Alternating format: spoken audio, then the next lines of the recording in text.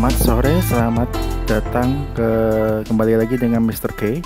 Uh, sekarang saya akan membahas topik uh, daun lemon yang sudah dimakan oleh serangga atau hama. Uh, saya juga kurang tahu hama apa yang memakan.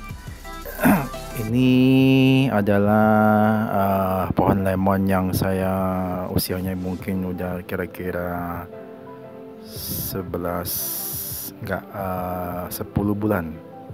Ya, 10 bulan. Ini sudah mencapai tinggi 2 meter. Semuanya dalam pot. Ya. Oke, sekarang kita kembali lagi. Oke, ini saya ingin memperlihatkan bahwa ini adalah pohon lemon ya pohon lemon semuanya ini sudah habis daunnya dimakan serangga. Ya. Kemudian yang ini juga. Ini adalah semua pohon lemon yang usianya masih kecil tetapi sudah dimakan daunnya.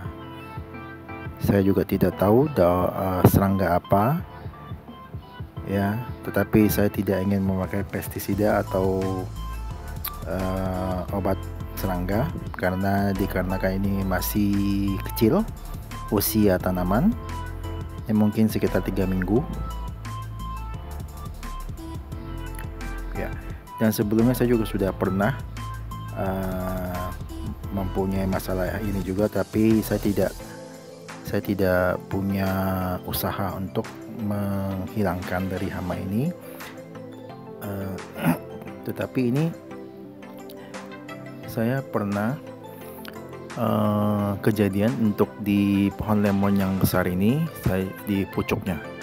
Di mana di pucuknya itu biasanya itu tiba-tiba pucuknya sudah hilang.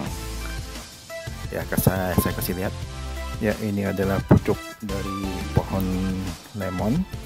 Ini di mana pucuknya sudah hilang sudah tidak ada lagi pucuknya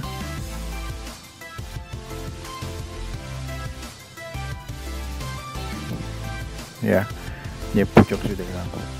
Tetapi yang saya ingin bagikan sekarang adalah ini adalah pucuk lemon ya. Ini juga adalah pucuk lemon ya yang masih bagus. Kemudian yang di sini juga